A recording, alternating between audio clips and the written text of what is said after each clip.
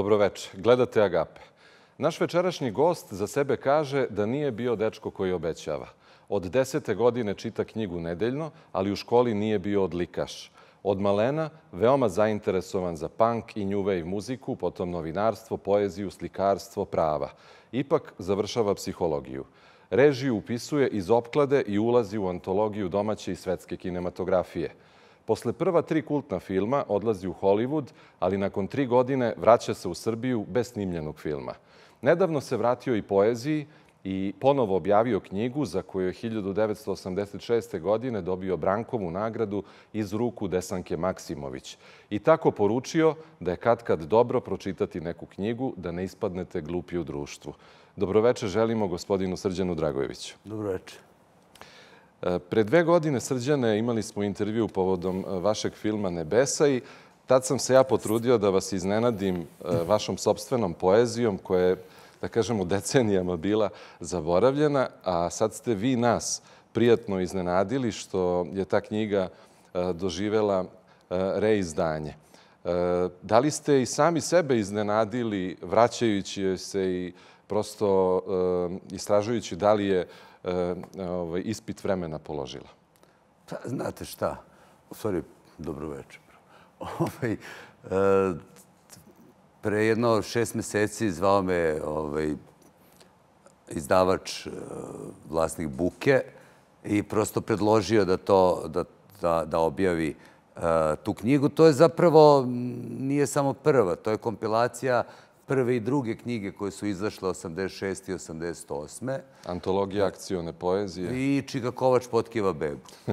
da. I, ovaj, I nekako ja sam bio pomalo i skeptik ovaj, na tu ideju, ali sam onda uhvatio te dve knjige, pogledao pesme i učinilo mi se da, da ima razloga, da stoje, da, da ovaj, dalje rezonuju kroz sve te dekade. Ovaj, nekako drago mi je, knjiga izgleda odlično. Ovaj, Buka je stvarno ovaj, dobar izdavač eh, po eh, raznim aspektima. Jedan od njih je svakako i grafički dizajn. I mislim, ispala je, ispala je stvarno odlično. Mislim, ja se zezam da izgleda malo kao neki učbenik za domaćinstvo ili opšte tehničko iz 82. treće godine, ovaj, što je kompliment. Nekako ima taj retro ovaj, izgled koji stvarno je adekvatan.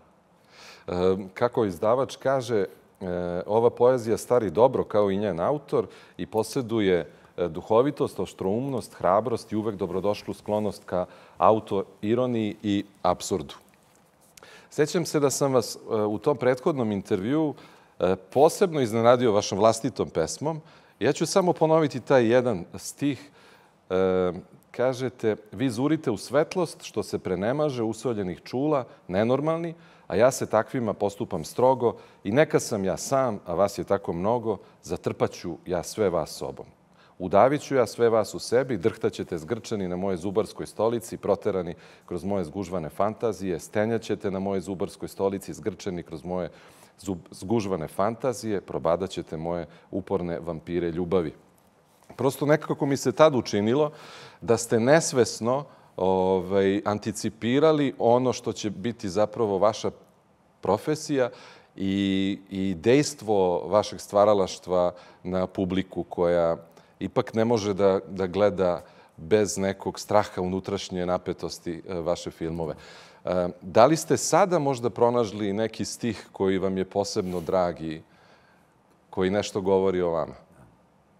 Vidjet ćete vi koliko je to tačno kad budem napokon napravi i horror film. Zahvaljujući Ove, ovaj, deci, bit će i to. Biće i to.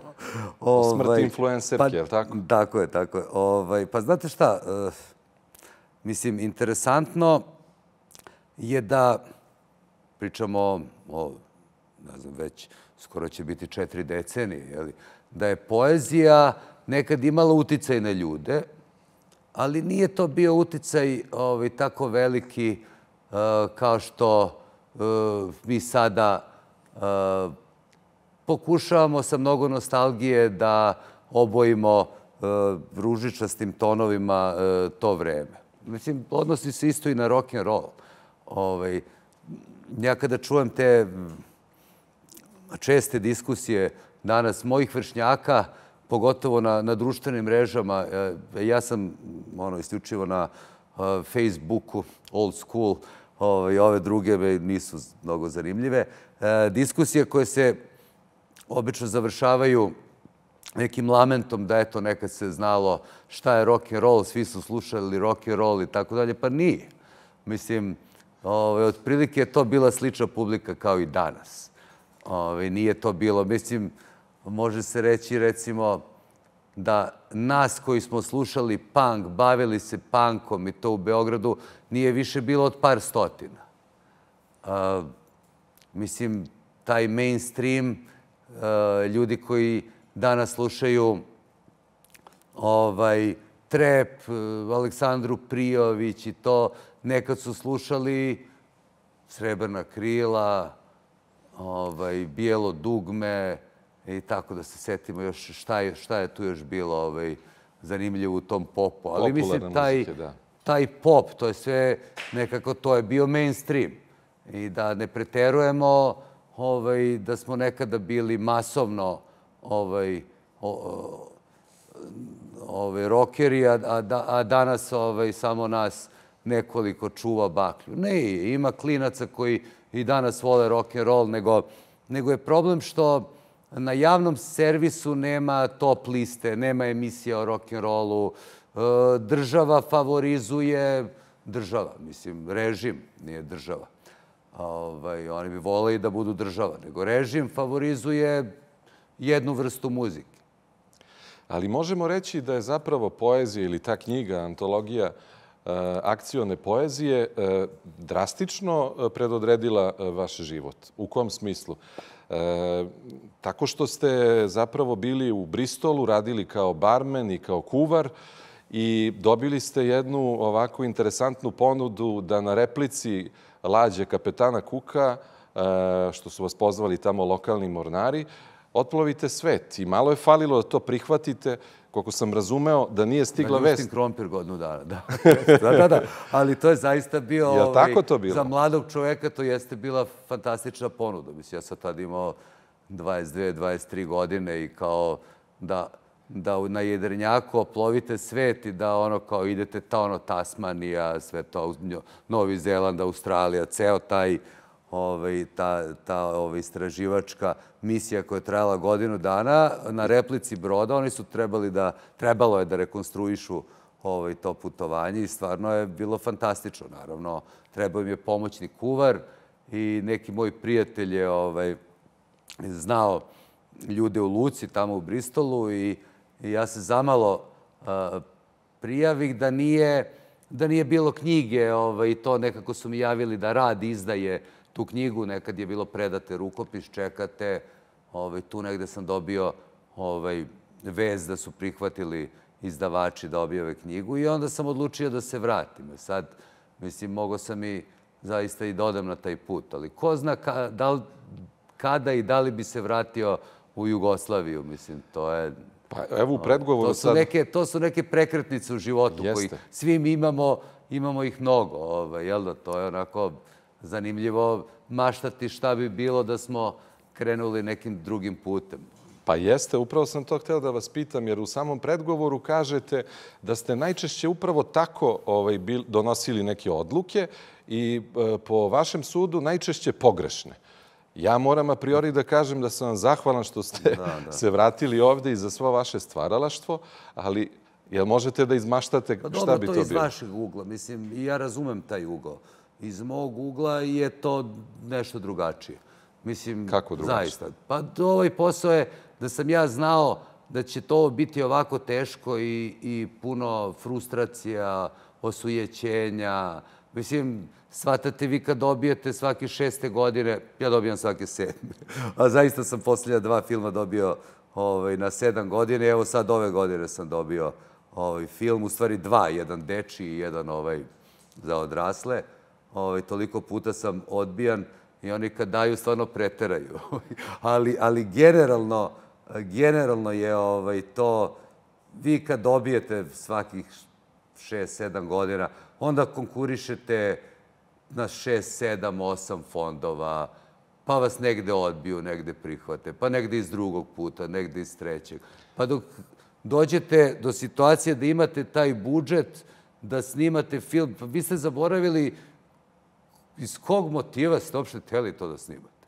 Ali stvarno, to tako ide. Mislim, to je jedan život pun ovaj, frustracija i više ima muke nego što ima radosti. Mislim, to je, objektivno je tako. Mislim, nekad kad sam počinjao, kad sam bio student i to stvarno bila ideja, što se događalo većini reditelja u Jugoslaviji, to da snimaju film na dve ili tri godine. To je neki, neki normalan ritam, jel? A sada i, i kad snimite film, pa ovde dobijete, ne znam, 15-20% budžeta i obično ne dobijete ni honorar, jer nema, nemate odakle da, da platite sebi honorar, jer ovde dobijete najmanje. I ovaj, onda radite džabe. I to je jedan hobi. Ali ja idu iz vizure e, psihologa. Prosto e, imali ste tolike darove interesovanja, dakle, od e, muzike, slikarstva, evo, e, poezije, e, psihologije. Ali kako sami kažete u predgovoru, niste bili sigurni da, da ste baš za to, iako se time bavite. Ali jesam ali za, evo, ja, ja inače živim, uh, živim od uh, režije reklama. Za to definitivno jesam. Odlično pravim reklame za, za kekse, grickalice, čokolade. To je super. Banke, često i banke. Ovaj, tako da za to sigurno jesam. To ste me stvarno iznenadili kad ste mi rekli da zapravo za mnoge vaše filmove nikad honorar niste dobili. Pa jest. Pa nema odakle. Mislim, to je stvarno objektivno. To je, ove, ljudi ne znaju to. Prosto, to je, e, vi kada e, dobijete ovde tih, ne znam, 15-20% od budžeta, onda morate da idete u sve te zemlje u region, pa Nemačka, Francuska i te pare koje dobijete u drugim zemljama moraju da se potroše većinski na kreativne elemente ili produkcijone elemente tih zemalja. Ja kad sam radio posljednji film, uh, uh, veći honorar imala organizatorka Nemica na snimanju u Nemačkoj sedam dana nego što bi bio moj rediteljski honorar da sam ga dobio. Prema tome, eto, to, to vam je tako. Mislim, jednostavno, Vama... ne treba, nema tu glamura nikakvog. Ovo je hobi. Vama film dođe kao hobi, da? Pa kako ne? Pa šta bi drugo bio? Kažem, ono, od reklama izdržavam porodicu i to je Ali to nije, je samo, nije samo to. Hoću da vas pitam, e, prosto svako od nas e, ima neki dar, pretpostavljam, za koji se rodio. I e, video sam da sve ovo, te, te strasti koje ste ovaj, u životu imali, da su bile dobre, ali nekako, kažete, niste osjećali da je to to, aha, taj doživljaj. Tek sa filmom, mislim, tako ste opisivali, da ste osetili, da ste zagrizli, da treba napraviti nešto I to je, kućete veću nagradu prosto od toga. Ne mogu da vas zamislim da imate... Možda na početku. Sad moram da kažem da sad pitanje je da li imam volje da, da radim. Evo sad sam dobio dva filma i kad čovek ne radi 4-5 godina, vama se desi da postavite pitanje da li uopšte znate da režirate. Ono, meni se desilo, ne znam, prethodni film, prvi kadar, ovaj, kažem, ono, kamera, ton, umesto ton kamera. Zaboravite, ali stvarno. Ovo je nešto što se mora da se vežba, trenira, da postajete bolji. Ovo da radite na šest godina, to nema rezona nikakvog. Jeste, Tako da, mislim, nije moja priča, da kažem, ovaj, pretarano siva ili crna, nego tako jeste. Ovaj, ja ne radim uh, serije, Ovi tu nekako su me tu zaobišli. To je isto neverovatan podatak. Vi imate šest gotovih scenarija pa dobro, koji nisu realizovani. Mislim, nekako se svako ko je prošao pored akademije radio je seriju zadnjih nekoliko godina, a eto, iz uh, spleta okolnosti, ovaj, nekako moje usluge tu nisu ovaj, potrebne. Ja to, da se, ja da to se ne mogu da shvatim. na tome. Pa kako da kažem, ne. Prvo, ne bi svaki... da se nešto žalim sad. Ali... I da vam, da vam ovaj, o, analiziram tu situaciju. Mislim da i, ve, i, i vama i meni jasna situacija i zašto je to tako. Da, ali svaki vaš film je imao i visoku pa, umetničku vrednost, ali i komercijalni uspeh. Ne vidim zašto bi sada serije bile uh, neki izuzetak. Pa nećemo ulaziti u domen politike već mi se na glavu popela ova Dobro. kampanja, tako da... Dobro, dobro. Ovaj, a da bi vam dao obrazloženje, morali bi ući u sferu politike. Dobro. A ovaj, svesno to odbijam u ovom trenutku. Dobro. Pošto mi je ovaj, pun kufer ovaj, toga. Eto. Slažem se. E, još samo e, neka reč o, o vašoj poeziji. E, dakle, dobili ste nagradu od Desanke Maksimović. Jeste. Lično vam je uručila, iako se ovaj, u, u toj zbirci nalazila i jedna pesma gde ste se vi onako blago ismevali njenoj poeziji. Šta vam je ona, kako vam je to prokomentarisala? Uh, Desanka je, ovaj, kako se ja, kako ja se sećam, jedna preslatka, ljubazna starica, kao iz onih filmova Agate Kristi. ovaj, I tako je bila šarmantna i to je onda rekla, ovaj, mladiću, ovaj, baš mi se dopadaju vaše pesme, pogotovo ona gde, gde i mene ovaj, spomenjete, a mislim, ono, spomenjene me dosta u jednom kontekstu ovaj, ironičnom. A, ali kaže, kad ćete da budete buntovni ako ne sada? I onako, baš je, vidiš, ona je imala, ne znam, ja, skoro 90 godina tada, a bila je puna života i to je zaista fantastično. Ako Divno. čovek, čovek pogleda i kaže, uh, ovaj, nadam se da ako baš moram da doživim 90 godina, ću bar imati tu vrstu energije i entuzijazma, jel da? Eto, treba će vam sad Da, i za da, ovo da. novo stvaralaštvo. Jeste. E sad, e, dali ste mi divan, divan šlagvord, zapravo da kažem, pojmove koje ste odabrali, o kojima biste voleli da pričamo danas, koji su me malo prepali, Stvarno. prepali. Zašto? Pa pomislio sam moram da završim jedan, jedan ovaj, Pa nije kraći fakultet, ne bi li ovaj, nešto tu prokomentarisao. Ja se izvinjam ako sam pretenciozan, ali nije mi to bila namera. E, kada ste mi uputili taj ovaj, izazov ovaj, i predložili koliko, 5-6 termina, ne znam, pet. da. Ovaj, ja sam zaista seo i prvo što, prvih pet e, koji su mi pali na pamet sam zapisao. I ono, ovaj, bez mnogo analiziranja Da, da, da. Ovaj, i, i elaboracije zašto. Prva asocijacija, to je važno i u psihologiji. Jeste, ne, E, neosporno. Evo koje, koje su to pojmovi.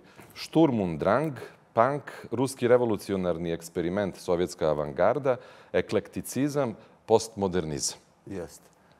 E, može li se reći, ako bi se birao pojam koji ih e, objedinjuje, upravo ovaj koji, je malo pre, koji ste malo pre rekli da vas je opisala Desanka Maksimović, to je bunt. Pa može, da, da. Eto, taj, već taj prvi termin Sturm und Drang je nešto što sam ja radio kao a, rad za a, maturu. Ovaj, inače, ja sam bio... Oluja i nagon u prevodu. Pa jeste, to su ovaj, 18. vek, Nemačka, velike emocije, ovaj, veliki pesnici i to je nekako sve je ovaj, puno, puno strasti i to i nekako sam ja radio o tome jer kao mlad sa 18 godina imate ovaj, vrst, jednu vrstu identifikacije sa tom poezijom, sa tim periodom i uopšte sa tom namerom da umetnost treba da ovaj, ispolji sve te velike, snažne emocije ovaj, prema svetu. I onda sam ovaj, pre, ne znam, dopisivao sam se nešto sa našom velikom književnicom Vesnom Goldsworthy i onda je ovaj, ona je čitala moje pesme i rekla da baš Sturm und Drang ovaj, je termin koji nju asocira ovaj, kada, kada Čita je čitala poeziju. tetu. Tako, čudna podudarnost i zato je taj prvi termin. A ovaj drugi je šta? šta Punk. Pa dobro, punk je svirao sam u e, dve punk grupe, TV Moroni su značajniji od njih, čak smo imali jedan snimak na ploči Artistička radna akcija. Iako ste sa Luciferima osvojili nagradu na Jeste, dobro, to Pankirijadi. je prvi taj, 79. prvi taj band, čak je i moj drug e, Dejan Papić, vlasnik Lagune, ovaj, tu svirao. To je isto iznenađenje. Niko ne može da poveže Dejana Papića sa pankom. Pa dobro. Ali e, Dejan Papić ima jednu drugu vrstu energije sada, čim je tako uspešan izdavač i napravio revoluciju u u našem izdavaštvu i knjižarstvu. Jeli, to je takođe jedna vrsta punk energije, ali ovaj, može se reći transponovana u, u, u nešto sasvim drugo, je tako? Nešto, ali definitivno ovaj, e, jako korisno za zajednicu. Ili što se nekad govorilo društveno korisno, zar ne? E, šta ste kao osnovac prepoznali u panku? Ali bio osnovac, to je mislim prvi gimnazije, čak ja sam išao u prvu Beogradsku. Da. Kraj, ja mislim da je osmi razred, 70, prvi, da, jer se da. ja sećam, baš se sećam, Dejan Papić je došao, na primjer, u, u školu sa budilnikom oko vrata, pa su ga izbacili. Ovaj, a mene, tak, me- mene isto, jer sam ja imao neku e, crnu platnenu jaknu, naravno kožna jakna je bila misalna imenica za nas. A Martinke takođe imali. Bile su one, ja mislim, peko cipele, to je najdalje što smo mogli da doguramo ovaj, do, do, do punk čizama i Martinki u tom trenutku. Posle se išlo u London. I onda sam ovaj, e, zakačio jedno sto zihernadli na tu jaknu i ja sam isto e, ovaj, popio izbacivanje. Izbacivanje. Da, e, tako da... A frizure su bile normalne, nije bilo E, široki frizure, i farbano. Pa ne, ne, nije. E, u tom trenutku to je neki prelazni period. Mislim, ovaj, nismo još se z, kratili kosu baš totalno i tako. Ovaj. E, to, je, to je došlo nešto, nešto kasnije. Valjda smo bili malo malo pankeri, ali sa tim nekim šminkerskim šmekom. Ipak nam je dosta stalo i do devojčica u tom trenutku. Ali bilo je uzbudljivo na koncertima, prepričava se upravo ta pankerijada i nastup e, Caneta koji je tada imao band Kopilad i pesmu. Sprej za seljaci kada je spreman za muve prskao zemunce i dobio onda frakturu vilice. Jeste da prebili su ga ti zemunski mangupi, ovaj, nekog je prsno u oči iz publike tim sprejem. Ovaj, I to je onako bilo stvarno prvi neki punk događaj i naravno sad ovaj, lukavi momci iz Saveza socijalističke omladine koji su kao to organizovali, valjda su oni to radili da bi e, malo ih je zasplašio punk, pa da, da bi nekako stavili to pod svoju šapu, onda su oni to napravili kao punk maskembal. Maskembal. Da daju jedan, da kažem, možda i da, da se i podsmehnu. ton, a, Možda da. i da se podsmehnu malo. Prihvatljivi ton, ali da, da ismeju donekle kao maskembal, kao da smo se mi sad nešto maskirali kao za noć veštica. U stvari došli su, došli su punkeri, ovi klinci koji su volili punk. Nije, ovi, volili su tu odeću, volili su tu muziku i onda je to bilo stvarno, stvarno interesantno. E, imali smo nekoliko tako dosta zanimljivih koncerata. Sećam se, jedno smo svirali u hali sportova na Novom Beogradu. A, ja tad još nisam imao bas gitaru. Ovi, to, je, ovi, to su baš počeci. Onda mi je neko pozajmio bas. Ja čak mislim neko od ovih kosijanera, ovaj neki kao, to je mešano, program je bio još uvek mešan. Bilo je tu i hard roka, i punk grupa, i ovaj, kako kada.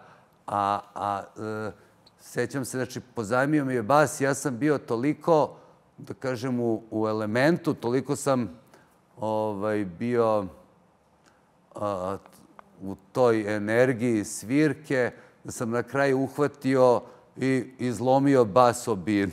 I onda sam, i onda sam tek shvatio da nije moj. Ovo baš neprijatno, mislim, krajnje onako, ali šta da vam kažem, to je...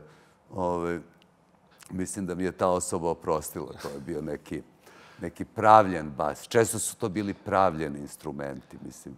E, Dobro, sigurno su ovaj nastupi sa TV Moronima bili mnogo e, mirniji. Cane je bio, na primjer, jedan prvi bas sam kupio Cane, koja je velika zvezda danas i, i koji je naravno ostavio pečat u, u savremenoj roku, savremenoj muzici našoj. Uh, on je bio mlađi od nas godinu ili dve i on je dolazio na probe TV Morona u nekoj mesnoj zajednici su nam dali da, da vežbamo i tu smo i nekoliko koncerata imali To je zadnja stanica 60 i nekog autobusa tamo u Novom Beogradu.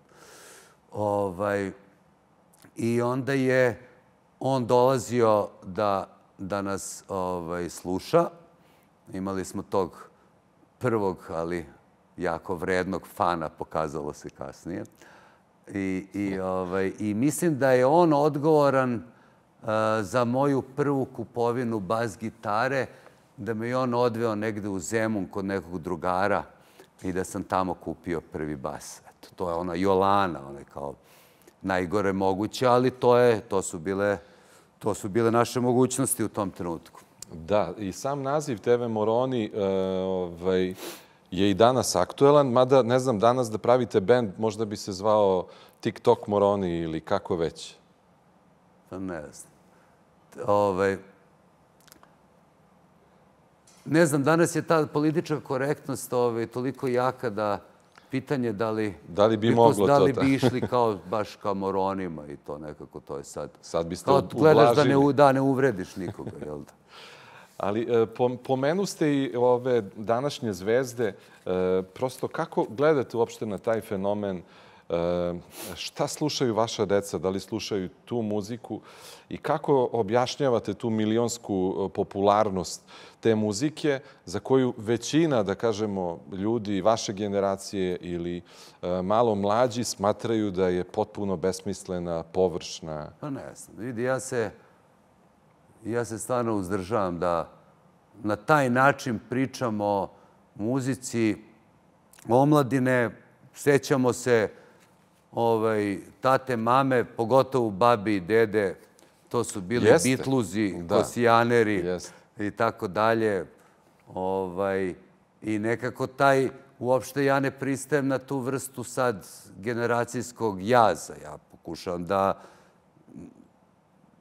ajde da, da ne kažem baš da držim korak, jer to nije baš sasvim moguće, ali kad imate decu raznih generacija, raznih godišta, učite i od njih. Pa mislim, čerka koja mi je sad na masteru iz klavira je stvarno odgovorna za moje dodatno interesovanje i obrazovanje u klasičnoj muzici. Mislim, od mlađa, mlađa deca dosta repa slušaju i ovi stariji su nekako i oni su ta generacija, ona prva generacija e, e, repa, ovaj, isti West Coast, tako da nekako učite, učite i od njih dosta i mislim ima mnogo interesantne muzike i dan danas, nije to, nije to ništa ovaj, različito u odnosu na moje vreme. Da. Mislim, samo, samo što je, eto, kod nas, ja mislim da je pitanje nekog oficijelnog uh, forsiranja određene, određenih nota, određenog melosa, uh, koji ovaj, meni nije suviše blizak. Eto. A, mislim, nije ni moji deci, pravo da vam kažem, i, i opet uh, čak gledam i, i decu u, u, osnovnoj školi, pričam o ovim najmlađima, e, slabo koji to sluša. Ja mislim da je taj neki prelazni period, možda početak gimnazije, kad se, kad se prelomi pa se sluša taj turbo folk, trap i to. Mislim, kad počnu ti neke prve žurke i e, ovaj, ali čini mi se deca u osnovnoj školi još uvijek imaju šanse za, da slušaju neku kvalitetnu muziku, ovaj, više nego kasnije. Kad smo kod dece, da kažemo da, da imate petoro dece i meni je barem divno I, uvek i kada... tri na- unuka. I tri unuka? I tri unuka, da. Ja nisam znao i da ste Da, da, deka. da. Čestitam. E, Meni je uvek divno kada e, na Facebooku objavite, evo danas sam sa decom pogledao zajedno neki film pa smo ga analizirali, dopao se, nije se dopao. Pa opet kroz to neko druženje sa decom dobili ste ideju da snimite scenario za ovaj horor film Smrt influencerke, e, onda imate zajednička čitanja, podela ovaj, uloga unutar porodice. Da, da, baš se spremamo da ovaj, taj deči film Leči zubi koji je nastao po sedam priča Lane Bastašić, to je jedna izuzetna knjiga koju nije čitao, stvarno toplo preporučujem. A, sedam priča o raznim preprekama koje stoje na putu odrastanja. Znači, kako i roditelji i ambicije njihove i institucije totalitarne ovaj, i, i škole i crkva ovaj, utiču na suzbijanje kreativnosti, kako se deca moraju boriti protiv totalitarnih institucija i koncepata tokom odrastanja. Znači, on prati e, razne junake u raznim situacijama. Priče su smeštene između 1969. i 2023. Pokrivaju, znači, čitav ovaj period. I evo sutra, pošto sam završio napokon novu verziju scenarija tog filma koji sam dobio na konkursu, ovaj, nisam bio zadovoljan potpuno, ovaj, pa sam još radio i onda ćemo baš sutra ovaj, da zajedno da čitamo. I onda ovaj, sin čita ovaj, dečake, čerka čita devojčice, žene ja čitamo tate i mame i tako smo se podelili. Ovaj, to je zanimljivo. Ovaj. Tu možda dobijete čujete, novu inspiraciju. Bolje čujete, da. mislim, ja generalno čitam sa glumcima kada radim pripreme za film, a ovo, je, ovo su neke rane pripreme, porodične pripreme. Ali taj scenario me podsjetio i na, na naslov vaše knjige Krilata deca. Da. Gde deca kada Jest. uđu u pubertet jednostavno otpadnu krila, nisu sposobna da lete. Jest. Jer... I onda na kraju kako stare pretvore se u vodozemce i onda otplivaju u okean i to, to je neki životni ciklus. Pa mislim, interesantno, jeste. I, i postoji ovaj, u ovom filmu koji će se, nadam se, desiti za par godina. Dali su mi ozbiljan zadatak jer vi imate zapravo tri plus jednu godinu kad dobijete film na Filmskom centru, a ja imam tri plus jednu tu godinu produžetka za dva filma. Oh. I onda ću stvarno morati da se potrudim da, da nađem koproducente i tako, mislim, ne, neće to biti tako lako. Da. Ovaj, ali čini mi se da su oba projekta jako dobre i, i ovaj, i ti mlečni zubi i 8. mart po priči Rumene Bužarovske. To je ovaj, iz njene knjige Nikuda ne idem. Ovaj, I njene priče su stvarno fantastične. Ovaj, ja, ja sam veliki obožavatlac. Sad smo bili zajedno u Mokrinu, u Mokrin hausu. Ovaj, I Bio je stvarno fantastično. Skupili su se fanta divni ljudi. Srećko Horvat, filozof, imao jedno predavanje. Žilnik je došao da, nam, da priča o svojim ranim filmovima. Na kraju je Lajbak svirao kao kraj turneje i tako. To je zaista fantastično neverovatno, neverovatno društvo. I taj Mokrin House je stvarno mesto gde se e, razmenjuju ideje, energije i tako. Ovi, to je ovaj, taj gospodin Brkljač je to fantastično smislio u kao svo, svoju zadužbinu neku gde, gde je omogućio umetnicima da ovaj, a, tamo budu na rezidenciji, da spavaju, da rade i to, to je zaista nešto što je što nama treba, mislim, Absolutno, nešto što bi pa da. trebalo da radi, da radi institucija. Ministarstvo kulture i tako. E, kako bismo predstavili tu vašu e, višestruku e, darovitost i razna interesovanja, da kažemo isto o, o nečemu što nije dovoljno poznato u javnosti, da ste zapravo išli u gimnaziju, novinarski smer, i u Zemunsku gimnaziju i to čini mi se što baš niste imali najsjajnije ocene, morali ste da, da putujete e, do Zemuna. E, da. Pisali ste za razne časopise i SF-ove, da. ali evo prosto da bi oslikali kako je to vreme, e, u jednom tekstu ste malo nagazili start sa formulacijom ne znam, da samo onaj, ne znam, ko se služi erotikom, e, malo građanština ili tako ne, da, nešto. Da parafraziram nešto, intonirano je bilo da je e, erotika, to je one duplerice i sve to, samo jeftino pokriće za jedan ovaj, malograđanski, sitno buržoaski koncept koji je gajio start. Da. Znači, ja nisam volao komuniste i nisam volao partice, ali nekako svi smo mi bili uh, prilično komunisti na neki način. Komunisti mentalno. Mislim, Da. onaj ko je bio član partije da bi imao neke privilegije, takvih je bilo stvarno dosta, ovaj, je imao samo prezir od moje generacije. Mada da. je dosta, kako da vam kažem, dosta je tih partijaca. Mi smo u studentu imali jednog tipa koji je kasnije ovaj, bio jako uspešan političar, neću da otkrivam ko, ali i u 90-im, pa kasnije u 2000-im, pa je postao i uspešan biznismen i to. Ovaj, oni su trenirani da, da budu, ovaj, da opet upotrebim jedan izraz, moram, jer je on jako dobar, da budu prknoljubi. ovaj, I nekako im je to išlo posle. Da. I mi smo u studentu imali eto tog tipa koji, za koga smo znali da je, da su ga poslali ovaj, iz partijske organizacije da nadgleda. I on kad je tu, mi svi sa njim kao je čao, čao, ali ono, čim on uđe, mi tiše ili odemo, ili odemo u kafanu i tako. Što bi rekao Bata Ži- Živojinović, idi sedi tamo s nama. ali se znalo, znalo se ko je. Mislim, Da. i to je, i taj je posle postao uspešan, uspešan čovek. To je, to je srpska elita.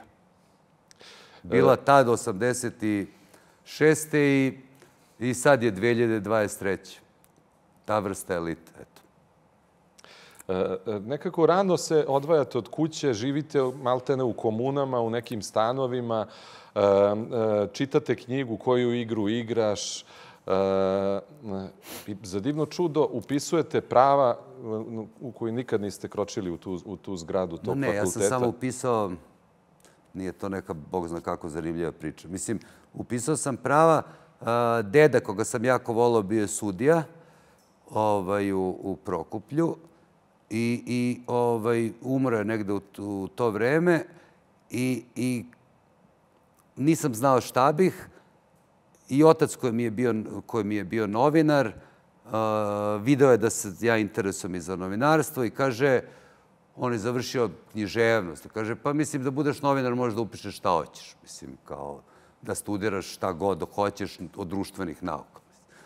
I prosto, eto, kao upiši šta, šta ti padne na pamet. Ja kažem, dobro, ajde na prava, čuo sam da je to najlakše. A stvarno su to primali, primali su ovaj, ovaj, skoce i konopca na prava. Da ne idete 15, već 12 meseci u vojsku. A i naravno da se ne, ali to je, prosto nije, bilo je lako upisati pravo u to vreme, pa ne znam, prime 500 ljudi, jel da kao. Da, ali Možda odlazite, ideš i vrlo dobar i dobar, kao. odlazite u vojsku i zapravo šalje vam e, e, tadašnja devojka brojne knjige iz e, psihologije. E, Tu ste se dosta zainteresovali i odatle odlazite i upisujete, je li tako? Tadašnja fakultet? devojka koja je završila psihologiju, ovaj, radila i u Americi kao psiholog i sada je, sada je jedan od naj, najviših funkcionera UNESCO. Ovaj, da, tako da smo, mi smo zapravo ta generacija iz Zemunske gimnazije vrlo su svi na neki način uspešni, imaju neke karijere ovaj, dosta zanimljive i to Ali evo kad pomenu smo e, vojsku, e, kažete i sami, mnogi kukaju i žale se, vi kažete da, da ste dosta dobro prošli e, na, na ostrvu e, Pelješcu, e, u prirodi... Poluostrvu. Poluostra, da, pardon, poluostrvu, e, u prirodi sa životinjama, iako je povremeno trebalo samo šljunkom i, i snegom ribati za, za gorele kazane, E, koliko vas je i, i gledati, na primer, scene klanja životinja, što su prvo vama nudili da radite, koliko vas je vojska tu, malo što kažu, naučila životu? Dobro, to, to što ste ispričali sve liči na horor. A moram da kažem ne. ne to, Ali to, je sve to, istina. Ne, ne, to ribanje ka, a, kazana, z- to je obuka u Sloveniji. Ja sam bio septembarska klasa i, i uhvativa zima, nema tu šta. I onda kao spavate ono na, pod metar snega u šatoru i to nije veselo. I stvarno, ono, to su one pokretne kuhinje, pa, pa kuvate pasulj, pa na, koji zagori, naravno. To je kao, gurate drva u one, u one kuhinje i to je na drva. i, i, i onda posle morate da oribate kazani. To je stvarno katastrofa. Mislim, krvave ruke. Treba ribate u, u rukavicama, ali prokrvare ruke. Međutim, posle toga mi se posrećilo, otišao sam da kuvam za jedno malo, za deset ljudi na relejnom čvorištu u Dalmaciji. To je stvarno bilo super. Mislim, ono, bilo je i, i kao knjiga i kasetofon i, i bilo i duvanja i to i ovaj, tako da o, jednostavno nisam, nisam obok uniformu, ono, papuče, gaće i kao imaš trpezarca, ovaj, on ti ljušti krompir i, i luk i to sve, a ti kuvaš. Mislim, bilo je da. zaista super. Divno. Mislim, ljudi se žale na tu INA, ja sam, eto, tu sam imao, tu sam imao možda i sreće što, što je bilo mnogo slobodnog vremena, par puta nedelja na kupanje u, u Orebić i u Trpanj i tako. Mislim, stvarno Divno. dobro. E, po povratku e, iz vojske, kažete da ste se najčešće okupljali u kafani Manjež, gde je bilo sjajno društvo, gde su mahom bili ljudi sa FDU-a i tu se e, budi nekako veće interesovanje za film kod vas. E, maltene svakog dana gledate u kinoteci filmove i posle neke diskusije jednostavno niste dozvolili tim pa da, takozvani... Da, bilo je vrlo specifično. Ovaj, mislim, to je baš dolazila, ovaj, dolazila ta generacija plus minus par godina, čitava generacija ovaj, koja će napraviti nešto i u filmu i u književnosti.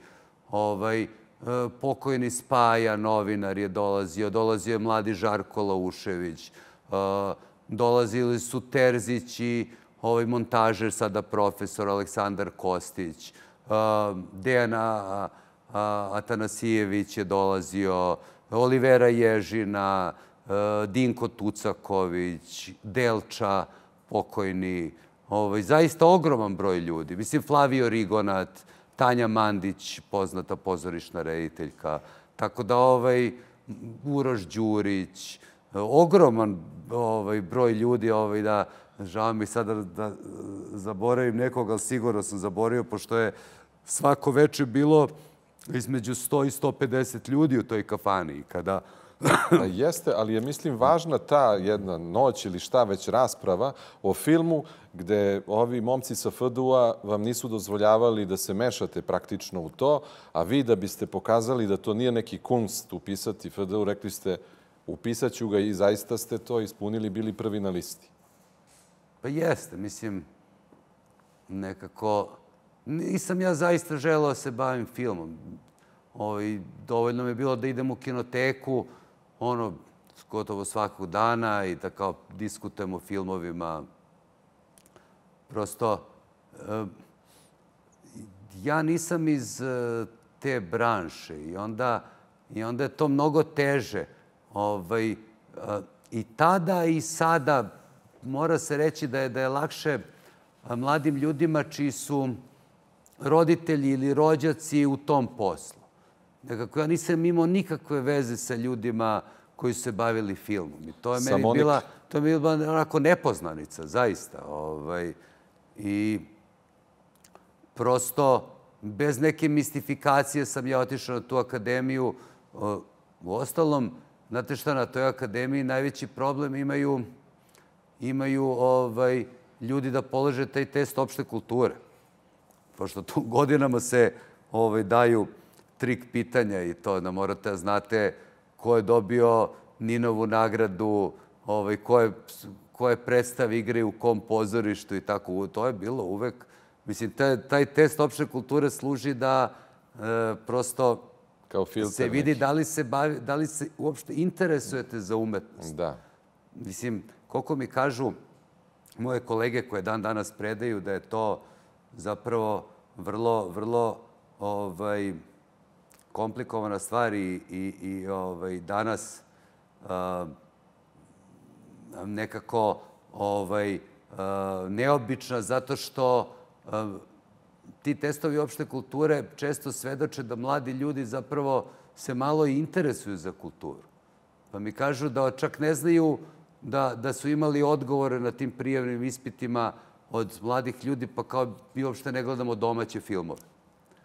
I ovaj, interesantne su ovaj, te, te nove generacije, da šta reći. O, ali, ali generalno morate biti zainteresovan za, za, za razne oblike kulture. Mislim, mora vas za, zanimati i muzika, i istorija umetnosti, i slikarstvo, i, i sve živo, jer ipak ovaj, mislim da ovaj posao dosta traži, uh, ako ne celovitu umetničku ličnost, makar uh, nekog hobistu koji je posvećen svim ili pretežno svim oblicima umetnosti. Mislim, morate biti zainteresovani. Da kažemo da ste već za prvi film, a što je malo poznat podatak, dobili Grand Prix u Peruđi. Za sledeći film praktično se nalazite u Halivelovoj enciklopediji Lepa sela, Lepo gore u e, prvi hiljadu filmova svih vremena. Sight and Sound ga je stavio među prvih 30 filmova, ratnih e, filmova u istoriji kinematografije. E, koliko su zapravo sve te dramatične i opasne situacije tokom snimanja filma uticale zapravo i na njegov kvalitet od neslanih šala presretanja Ratka Mladića do e, pijanog oficira koji seda za pragu i uperi cev u vas? Pa, mislim, naravno, to su bila uzbudljiva vremena. E, ono što je meni tu jako važno, kada posmatram tu deceniju kao celinu, ovaj, je to što m, radeći na tim filmovima i boreći se za njih, lakše sam podnosio surovu stvarnost oko sebe. I nekako je to često rešenje. Prosto biti politički angažovan je dužnog svakog smislećeg građanina. Svako treba da da učešće. Evo, ja se ograničavam na to da, na primjer, na ovim izborima budem kontrolor i, za prethodne izbore sam, sam ovaj, afirmisao tu tezu da je jako dobro uzeti učešće. Ali moram da kažem da e, koliko su me ti filmovi spasili, e, toliko, na primer, je kasnije iskustvo u politici, jer sam ja bio političar tri godine, nisam bio hobista. Toliko je prosto e, izazvalo u meni jednu onako deprimirajući osjećaj da tu nema pomoći i da nema vajte. Mm. I šta god se trudili i žrtvovali svoje vreme i energiju i to nikad neće niko to uvažiti. Samo će vas na kraju pljunuti, ni podaštavati i mislim da nema razloga da se bilo ko normalan mnogo zamajava sa tim. I onda sam ja ovaj, zapravo odlučio te 2015. kada sam rekao, evo, mandat nazad, hvala puno, ovaj, sa svima se pozdravio i ovaj, nikada ni o kome nisam loše rekao.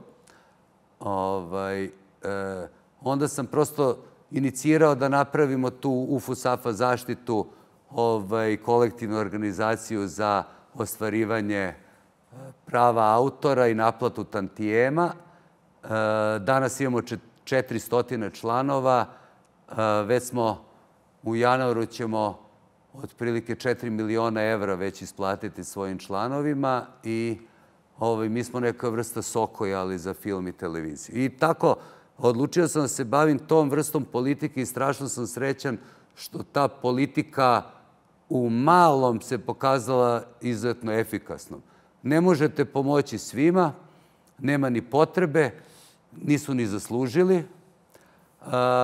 Možete pomoći u svom nekom domenu, u svom esnafu i mislim da kada bi svako u nekom svom domenu uradio taj, uložio energiju i vreme da uradi nešto da bi to bilo daleko efikasnije nego baviti se politikom globalno. Pogotovo u vremenima kada je parlament i, i opšte vlast upitna. Može li se reći da time pokazujete da ste e, iskreni e, levičar koji nije samo to verbalno, već se trudi i svojim, e, svojim delom to da pokaže i možda da uključimo jedan pojam, to je solidarnost, koliko sam ja barem primetio, barem po ovim postovima koje kačite na, na Facebooku, dosta ima te vaše želje da se revitalizuje taj pojam u našem društvu koji se zove solidarnost. Kompleksna je to stvar. Mislim, zalažem se ja za to i mislim da je solidarnost uh, jako važna. Uh, da budem najiskreniji, nisam više siguran da li sam, da li sam ovaj, i dalje levičar. Ovaj, nekako pro, prošao sam kroz to tri godine i izvukao neke strašno um, uh, meni važne, ali uh, frustrirajuće i onespokojavajuće zaključke.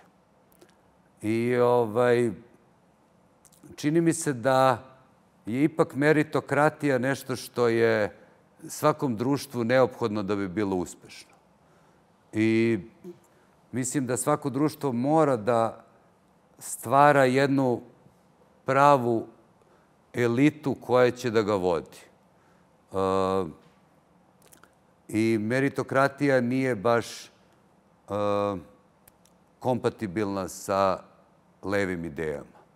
A moram da kažem da leve ideje i na mom ličnom primeru i pokušaj da uradim nešto za zajednicu, ono, kao žrtvujući tri godine života i radeći dosta stvari. Ja sam stvarno ono, organizovao javna slušanja, uneo sam neke stvari u neke zakone koje su bitne, koje naravno su se pokazale ovaj, potpuno disfunkcionalno, jer, jer niko se nije, ovaj, po, nije posegnuo za tim pozitivnim promenama u zakonima, ovaj, uh, spasavajući, ne znam, uh, nacionalne penzije, uh, to je nacionalne priznanje u kulturi, spasavajući uh, ovaj, uh, autorska prava novinskih fotografa, uh, omogućavajući slobodnim umetnicima koji su pritisnuti bili ogromnim dugovima i kamatama, pošto grad nije uplaćivao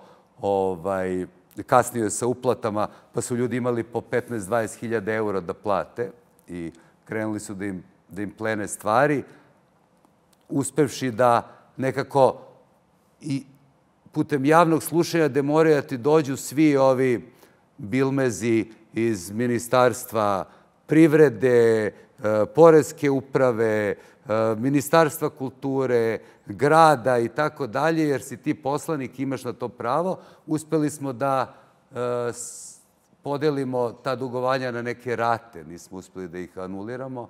I tako milion stvari i na kraju nikada niko ti nije rekao jedno jedino hvala. Nikada.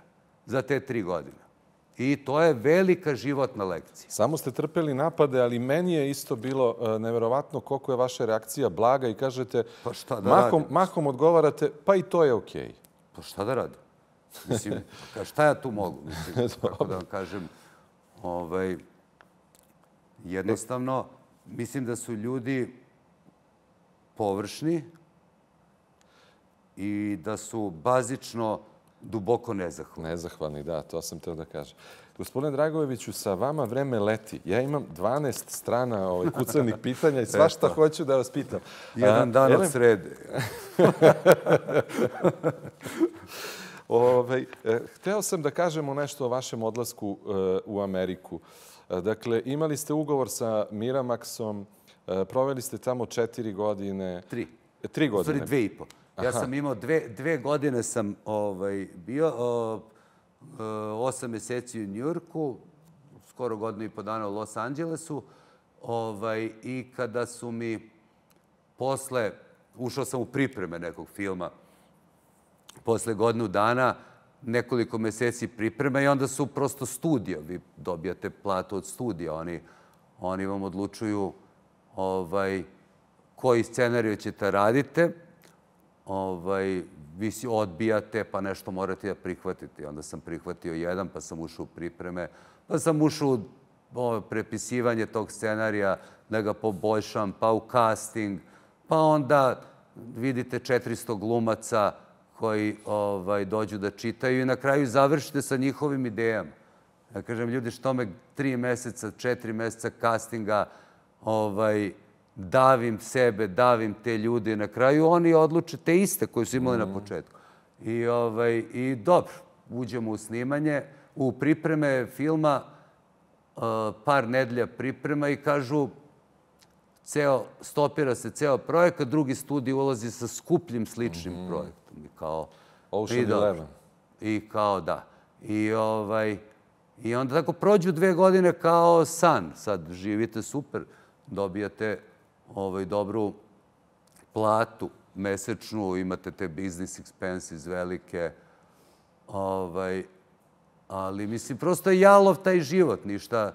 Ne, ja sam i radio neke svoje scenarije, onda nudio njima, pošto imate obavezu da, ne znam, ponudite četiri projekata godišnje, to vam je obaveza.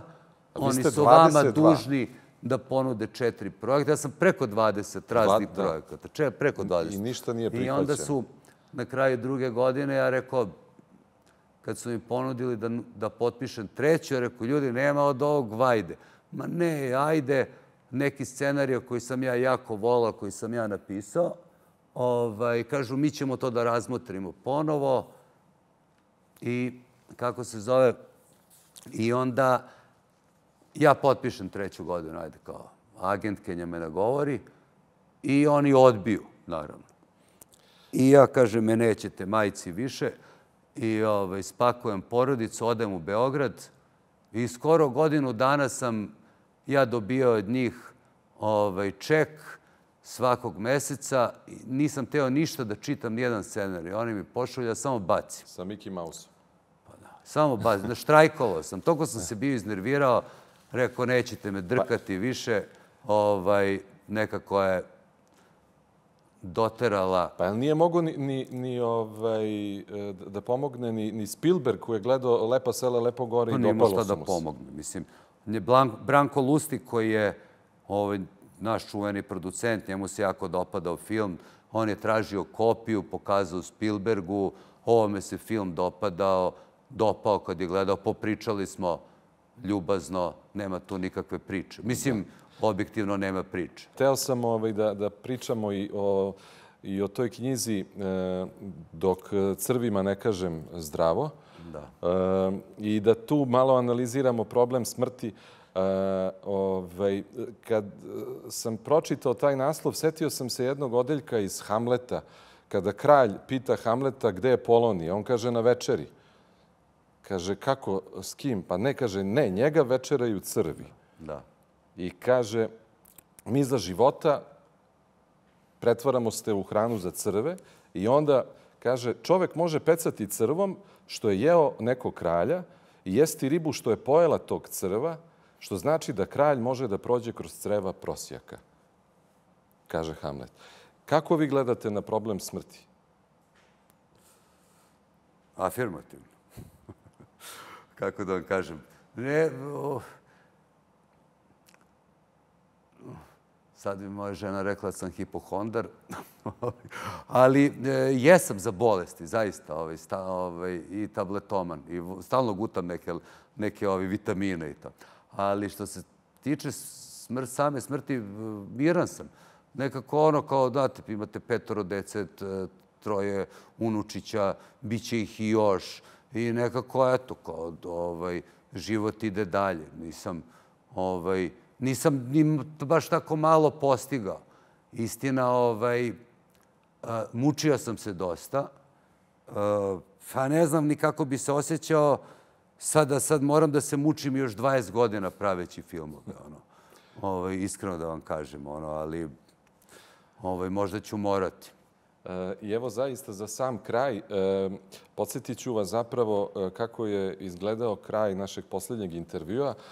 Tada sam vas pitao kada biste dobili šansu da dobijete na odgovor na samo jedno pitanje koje je za vas pitanje svih pitanja, vi ste malo začutali par sekundi i rekli pa možda da ovo odložimo za neku bolju priliku. Morat ćemo i sada. Jer ćemo i Mrzim sada. te kvizove. Ovaj. Moram da kažem, zaista ne volim. Ne volim te te kvizove, nekako nikad ih nisam ni gledao, niti imam želju da učestvujem u njima. Ne volim ni one liste, pravo da vam kažem. Ono, znate, pet najboljih, pet najboljih filmova, deset najboljih grupa. Mislim, dubinski se protivim tome jer mislim da umetnost nije takmičenje i nije, nije ovaj, nije futbal, nije ovaj, nije nadmetanje, nema ovaj tabela i to nekako je umetnost je iznad toga. Svako ima sobstveni doživlje nekog umetničkog dela i najbolje da ostane na tome, zar ne? Jeste. Gospodin Dragoviću, hvala vam mnogo što ste bili gost serijala. Hvala, hvala i vam. Poštovani gledalci, hvala i vama. Prijatno večer.